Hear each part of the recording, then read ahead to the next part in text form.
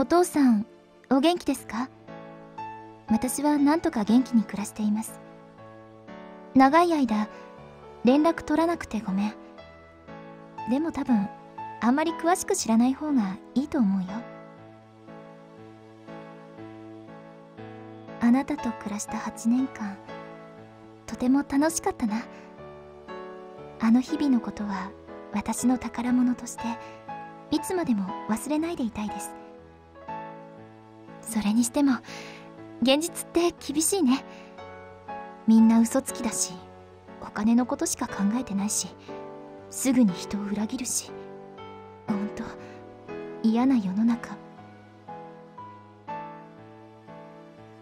それでも私は生きていかなくちゃ。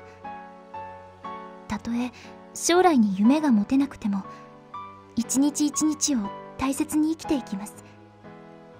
そのためにはあなたから学んだいろんな力を最大限に使っていこうと思います。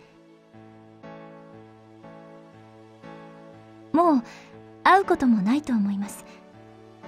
でも私はどこかの空の下でいつでも元気にやってると思うからあまり心配しないでね。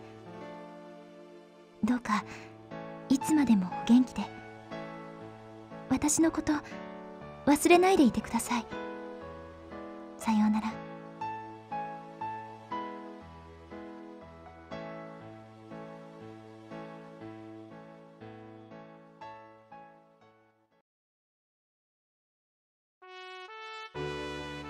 このクラブに私が流れ着いてどのくらい経ったのか思い出すことができない？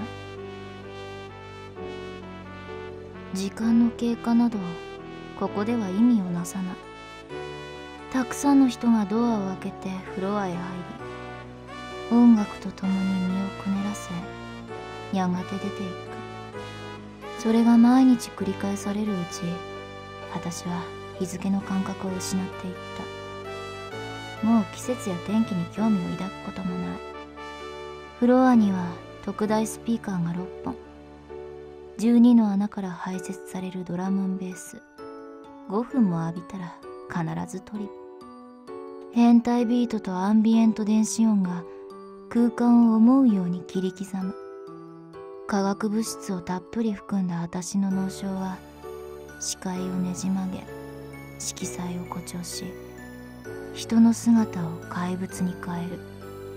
さっきから誰かが私の胸を揉んでいる。常連ならこんなことしない。どっかのお調子者だろ。ほら殴られた。私の取り巻きが速攻でリンチ。血吹いてる。チッチ玉食う？うん。ああありがとう。この子はステーシー。本名は知らない元は保険の勧誘員だったけど借金抱えてソープ嬢になった。ステーシーは源氏名黙ってお薬のこと。すげえ早い。おいしい？うん。これ拓也が仕入れたんだよ。またいくら？1万。全部さばいた。わおしばらく暮らせるね。今の私はここの仲間と一緒に結構稼いでる。みんなは私のことをチッチーと呼ぶ。由来は良さげな父だからだそうだ。すげえいい加減な名前。でも気に入ってる。音の響きがいい。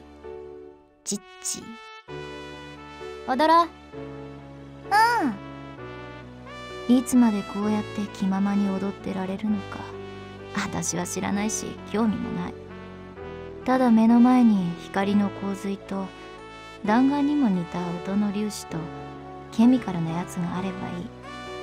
さっきの弾が支障に届いた。知覚神経がきしむのがわかる。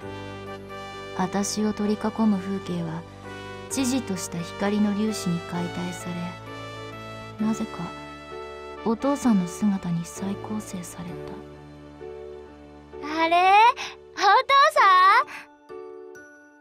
懐かしくて思わず呼びかけた。